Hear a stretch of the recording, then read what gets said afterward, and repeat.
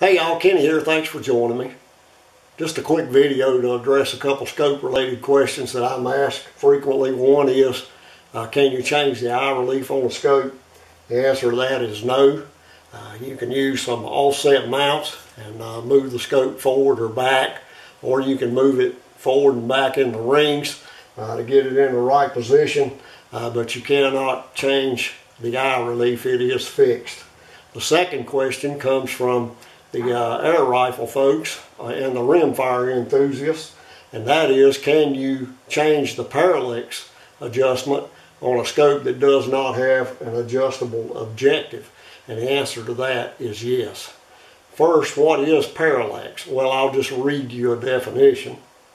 The effect whereby the position or direction of an object appears to differ when viewed from different positions. So how does that relate to a scope?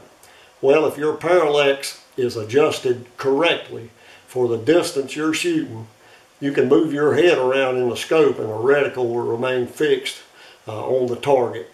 If the parallax adjustment is wrong, when you move your head, the reticle will move also.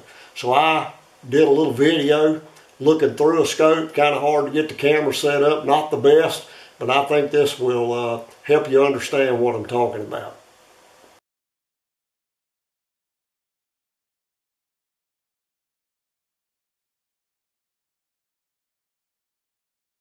So how do you correct the parallax on a scope that does not have an adjustable objective lens? On most scopes, and this may not be true of all scopes, but you'll have this cover on the objective lens. You need to break that cover loose. I cover this again in my DIY scope repair video, part one. You may actually have to use some heat to do that. This is a Nikon that I've partially disassembled. I got to make a socket uh, to get this ocular lens out.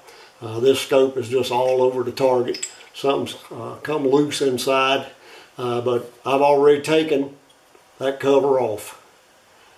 And there's your objective lens. You have two notches that you can make a socket if you feel like you need to, but most of the time you can do this just by turning the lens.